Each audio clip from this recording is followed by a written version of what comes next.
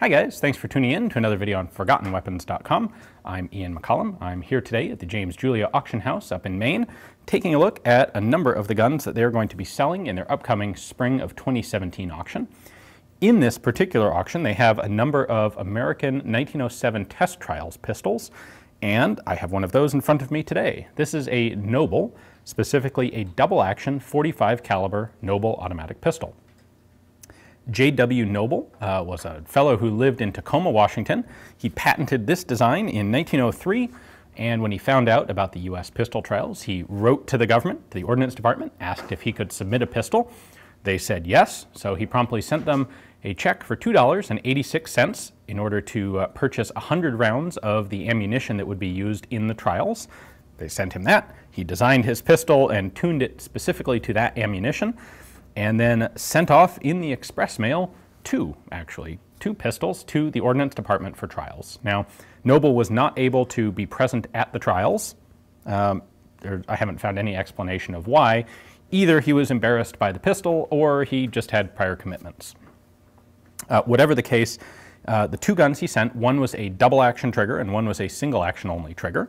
This is the double action gun. So this is in fact one of the actual test trials gun, uh, test trial guns. And we know that because there were only ever two Knobles in 45 caliber made, and this is one of them. Now, it has a total of 59 parts because Knoble wasn't there at the trial. Uh, his gun was basically operated, represent, he was represented by a Springfield Armory employee who did the disassembly and, and such. And it took about three minutes and change to completely detail strip the gun, which is not that bad. Uh, it took about five minutes to put it back together. But then they got to the shooting. In fact, they never did actually shoot this gun because they deemed it not worth shooting. I quote from the trials report here. A careful examination and several efforts to fire these weapons showed that they were so crudely manufactured as to render any test without value, smooth working being impossible. It was therefore decided that these arms would be given no further consideration by the board. Sorry, J.W. Knoble, but pistol ain't gonna cut it. I'm not going to let that stop me from taking a closer look at this pistol though, although I won't be shooting it. I have here a standard model of 1911, so we have a bit of a size comparison. The 45 caliber Knoble is pretty huge. It's a definitely a bigger pistol than the 1911. Uh, Knoble did make a couple other guns in 30 Luger, and those are substantially smaller guns, much smaller frames, much handier guns. Uh, in fact, I have a separate video on one of those, which you should take a look at if you're interested. But on to the 45 Knoble. That said, it actually handles pretty nicely. It's got a deep beaver tail in here, and Knoble's original letter to the Ordnance Department specifically says that you should take a very high grip and get your hand right up into this recess. And it has a nice kind of Luger-like grip angle to it. Uh, the sights are small. Fact, I can show you the sights here. So yeah, small sights, which is not all that atypical for the time, but wouldn't be the easiest thing to shoot. And then mechanically, the Knoble is a short recoil toggle locked pistol. So if I push back on the top of the slide here, that breaks our knee joint open. So normally what happens is these two lugs lock into these two shoulders, and that prevents the breech block from opening when you fire. Then recoil slides this whole assembly backwards, and the toggle connections in here force these lugs up and unlock them. Then we can cycle it back like this. There is no hold open on this pistol. Of course, I have the magazine out right now anyway. But you can see here that it doesn't quite work the same way as a Luger, although the principle is the same. The idea is once it moves back this far, the slide and barrel stop, and then uh, residual energy pulls this back against a mainspring. tap that and it'll go nicely back into battery. We then have a hammer here. This firing pin goes straight through. It is spring loaded. You can see it moving just a little bit there. And that gets hit by the hammer. And it is both double action and single action. The other model submitted was single action only. For as for the magazine, interestingly, the trials report does not even record the capacity of the magazine.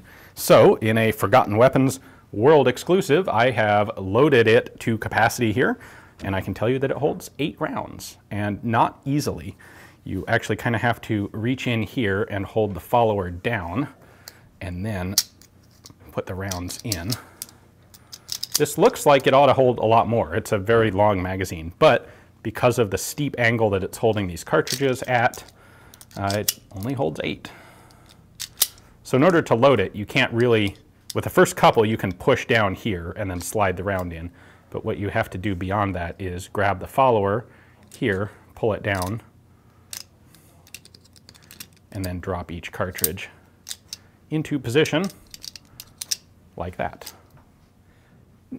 Now I mentioned I have previously looked at a 30 caliber Knoble. This one has a distinct advantage in the magazine department in that it has these two grasping tabs on the magazine, which make it easy to pull the magazine out. Interestingly, like the 30 caliber Knoble, this has this open slot on the front of the magazine well, or on the front of the grip. I really have no idea what that's for. There is nothing corresponding to it here except for a spot that has a different finish pattern, a different wear pattern because it's constantly exposed and under the shooter's hand. The magazine is actually quite tight to install. It goes about that far and then kind of hangs up and we have to push it in there. This is not a drop-free magazine by any stretch of the imagination. However, the magazine catch is located here on the back and so it's actually pretty easy to grab the tabs like this, pull the catch, and then you've got these to grab onto to pull the magazine out. The 30 caliber gun did not have these, and the magazine sat flush in the bottom of the grip and made it much more difficult to get the magazine out. There were only two of these Knobles ever made, and there are literally no markings on this one whatsoever. No name, no patent address, no date, nothing. Well, I don't know about you, but personally, I find the losing entrants in some of these sorts of trials more interesting than the winning ones. The winning ones go on to be common, and we know all about them. The losing ones are often the ones with really quirky, interesting ideas that are only made in very small numbers and usually lost to history. So it's really cool to be able to take a look at this, one of only two extant Knoble 45 caliber pistols. Now, if you'd like to add it to your own uh, 45 caliber pistol collection, uh, take a look at the description text below. You'll find a link there to the James Julia auction catalog page for this pistol. You can take a look at their pictures and their description and place a bid right there through the website if you're interested, or of course come here to Maine and participate live in the auction. Thanks for watching.